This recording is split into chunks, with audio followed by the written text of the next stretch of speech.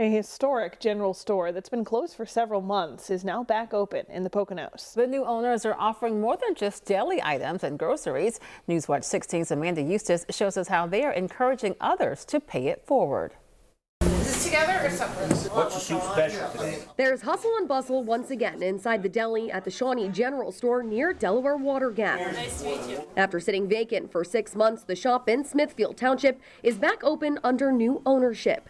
Kelly Seabrig and her best friend Tara Molina closed on the property at the end of December and have been open for less than a month. we knew that like it's so cute and quaint that it wouldn't stay on the market long and so we got home came to see it fell in love and our offer got accepted the end of the year It's a place both women frequently visited for several summers for a bite to eat.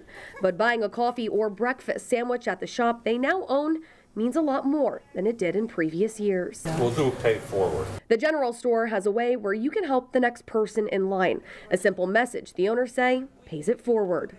Kelly Ray's mom saw it somewhere and she brought it into the store. She's like, What do you guys think? I was like, Yes, I've never heard of it either.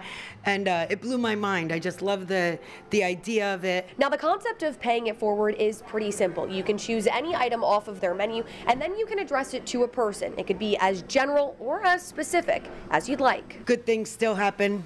Um, and paying it forward is one of those. Karma, you know, you do a nice thing and a nice thing will come back to you. Each one of these cards on the wall represents an item that's already been paid for. If it fits your description, you can use it. Seeing the kindness from others, Steve Sheptak and his wife decided to pay it forward and purchase a breakfast sandwich. Well, I think more people ought to do that, and it's a it's a great idea.